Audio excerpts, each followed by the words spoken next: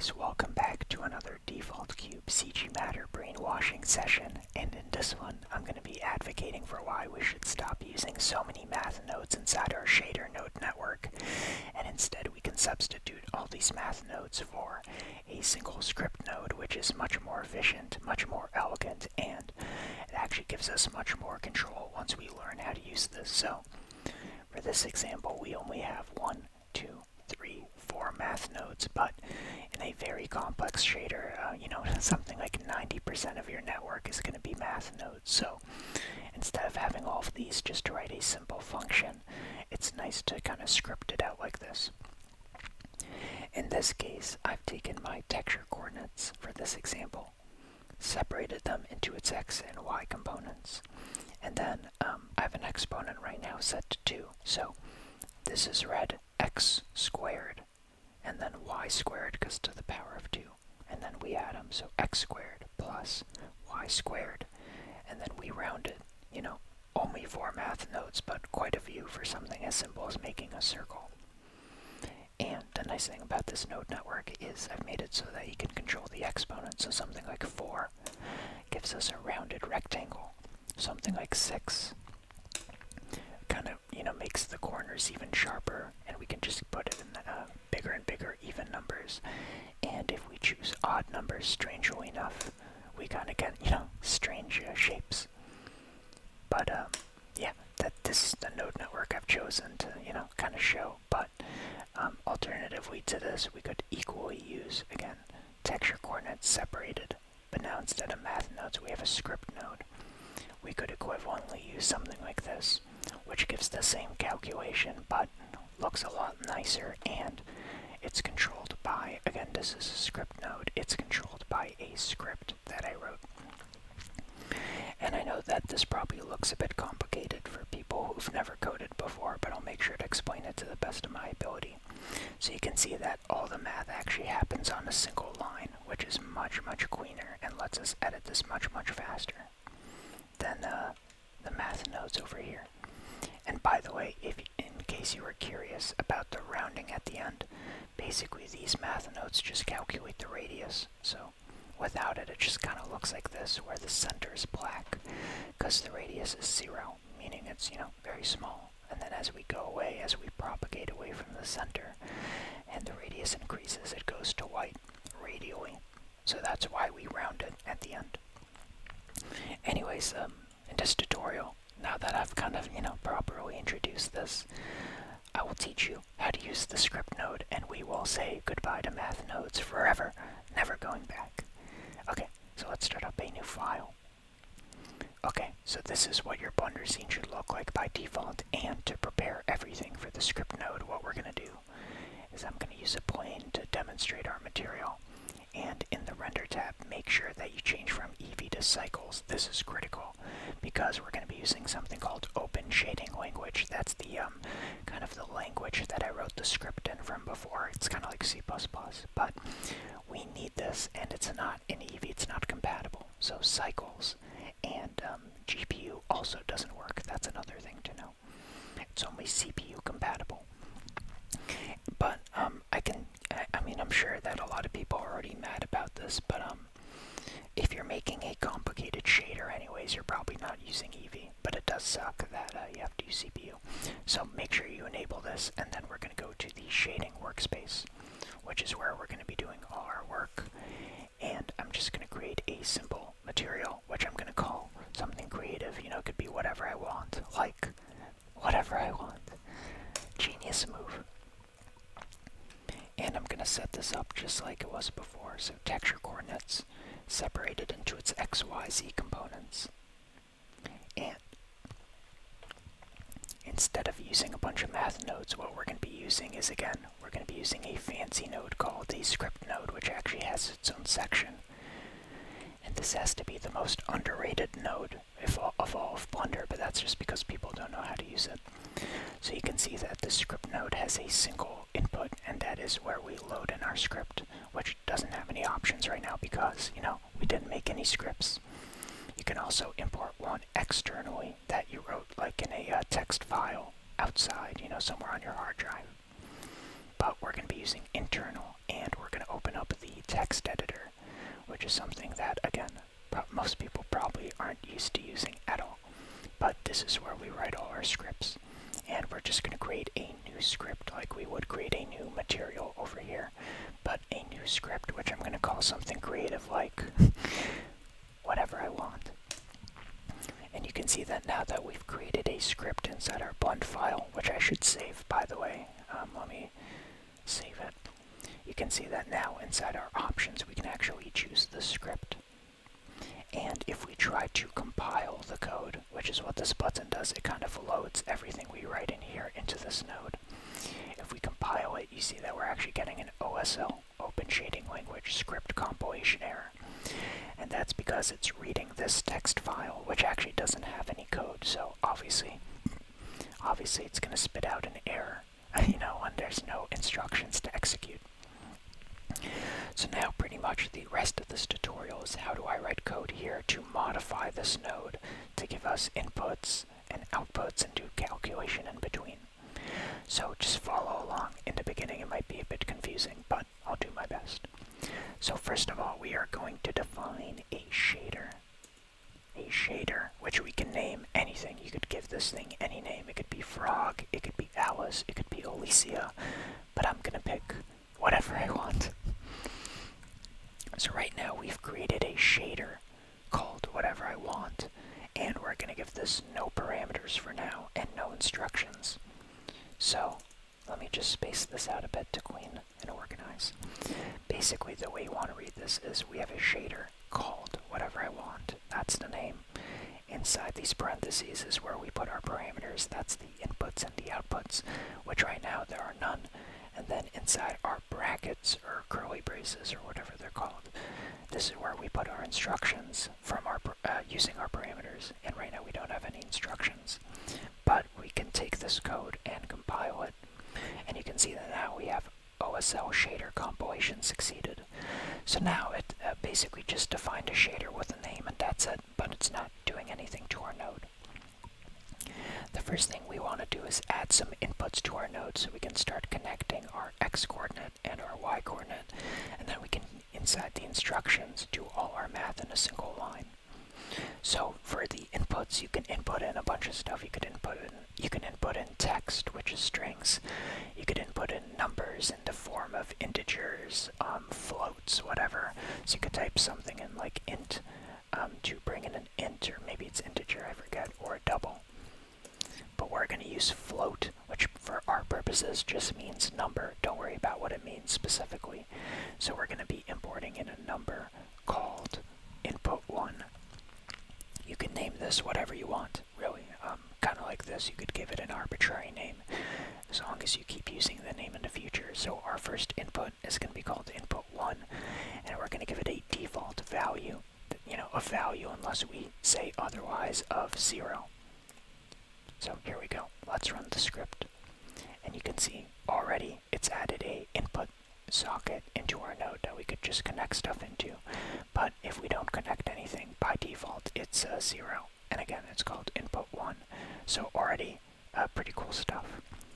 If we want to add another input, what do you think we do? Well, we add a comma to go to the next item on our list. And we're going to type in again float because we want to import in another number. And we're going to call this one something different like input 2. Very creative. And uh, we could give it a different default value because it doesn't really matter. We're just going to be using our x and y components anyways. So I'm going to give it something like 1 and refresh. So now you can see we have two inputs and a default value for this one is 1. And we now need to have an output before we do our calculation. So comma and then another thing in our inside our parameters. So outputs and inputs are inside these parentheses. And for this one, we want it to be a float. Again, we want to output a number, so we input two numbers, do a bunch of math, and then, you know, whatever the result is, we output it. But before you type in float, you need to specify this as an output. So just type in output and then float. So we want to output a number. And then we could just, again, call this absolutely whatever. So I'm just going to call this, um, like, calc for calculation. So we're going to use input 1 and input 2 to calculate our output. Called calc. And we could just give this a default value like uh, 1. And let's refresh this. So now we have two inputs and an output, and if we take this and connect it to the surface, you can see that it turns white because by default it's set to 1, right? If this was set to 0, then it'd be black when we plug this in. And note that it doesn't really matter what our inputs are right now because we're not doing any calculation with them. Okay, so the next step is um, using our inputs to do some math to get our um, calculation right. That's the whole point. So for example, we could do something very simple like calculation, which is our output is equal to input 1 plus input 2. And then put a semicolon like you would in C++. That's how you say you're done with this line. And let's just refresh this again. Um, nothing happens unless you refresh it. And you can see that already we're getting something cool. Again, we're taking our input our second input and then just adding them. And you could use anything for this, so you could uh, put in a number to get a gradient, or you could do it the other way around. But I'm going to use both x and y, and by the way, again, we're just adding these. By the way, we could just um, add a single math node, set to add, uh, use our x, use our y, and when we visualize this, it's going to give us exactly the same thing because basically this addition is exactly what's going on in here.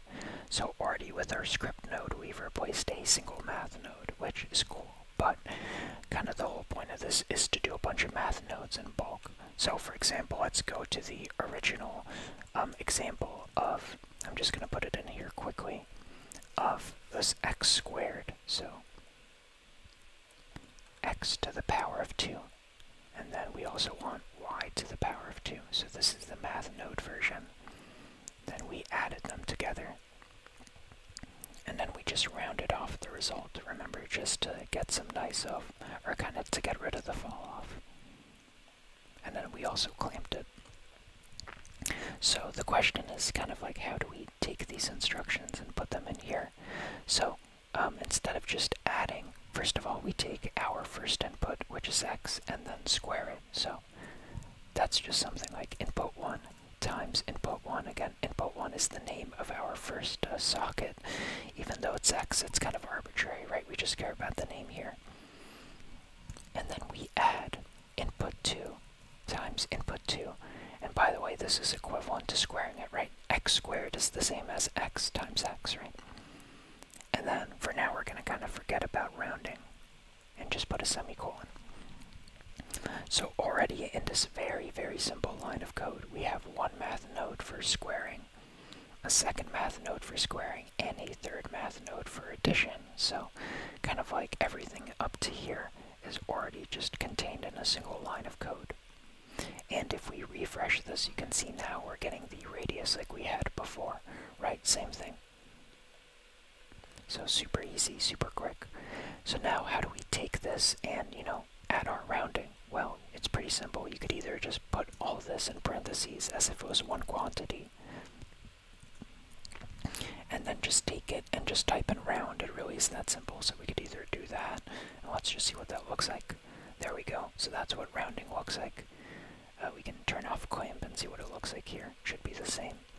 By the way, you can see these um, you can see these uh, rings because uh, we're not clamping it, which means that it's rounding to the nearest integer. So here it's 0, here it's 1, here it's 2, 3, etc. And uh, since we're using filmic color space, we can see all that. If we use something like standard, it would hide all, all that information because it kind of like visually clamps everything above 1.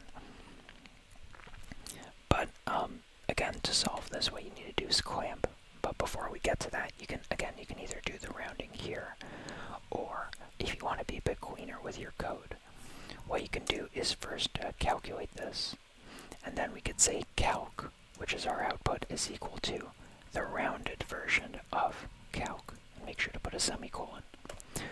So basically here, instead of writing all our instructions on one line, we're saying first get the radius, and then take this calc from here round it and assign it back here. And again, uh, don't be by the fact that we're saying calc is equal to rounded version of calc, right? This is an equality this is assignment, right? So we're saying take this, calculate it, and then send it here, which is why it works. And let's just refresh this, and you can see it does the exact same thing. We're, however, going to uh, just do it on one line just to show how powerful uh, the script node is. Okay, so let's refresh this. So now we've done this, and um, before we do our clamping, let's clean this up a bit too. So instead of input 1 times input 1, we could just say power of 2, right? We're not using like a multiply here and putting in x times x, right? We're, we're using power because it's cleaner. And of course you could do that here. So you could use something like power of, and here you need to put in uh, two parameters because you need to have a base and an exponent, right? Same way that you have two inputs here, a base and an exponent. So our base is input 1 to the power of 2. And then we just do the same thing here, so power of input 2, which in this case is y, to the power of 2. Let's just save and compile. And you can see it gives us the exact same thing. But notice that this way, instead of uh, multiplying, it's, you know, using the power function, which means that instead of 2, we could just put in an arbitrary exponent, right? So we don't have to pick a number, but we can have this be an arbitrary exponent. And right now, if we try to compile this, it's going to give us an error. You see, this gives us an error because uh, this exp, this uh, exponent, isn't defined yet, but I can also make this an input. So I could just, you know, say float. So another input that's a number called exp, which by default is going to be set to 2. So I can just add that in and refresh. And now our node has this exponent uh, parameter, which, uh, because we didn't define it to be any number in particular, we can always just uh, change. So here's uh, 4, uh, 6, 12, 100, and you can see that uh, we have a bunch of control, right, just with a single slider, because we didn't say multiply and multiply, we used powers instead. Okay, so already we have a bunch of control. Finally, how do we do our clamping? Well, think there's a clamp function that I know about, although maybe it's just called something that I'm not familiar with. So instead, what I'm going to do is something that's pretty much equivalent, and that is I'm going to take the minimum of and the minimum is another thing that takes two inputs.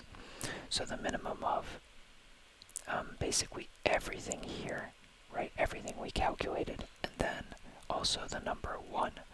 So it's going to take the minimum of this and 1, which means that if at any point this is larger than 1, it's just going to choose 1 because it's choosing the smaller of these two numbers. So it's kind of like clamping for everything above 1, which um, kind of does the job, I'm pretty sure. So let's a refresh. There you go. You can see that that does exactly what we wanted to.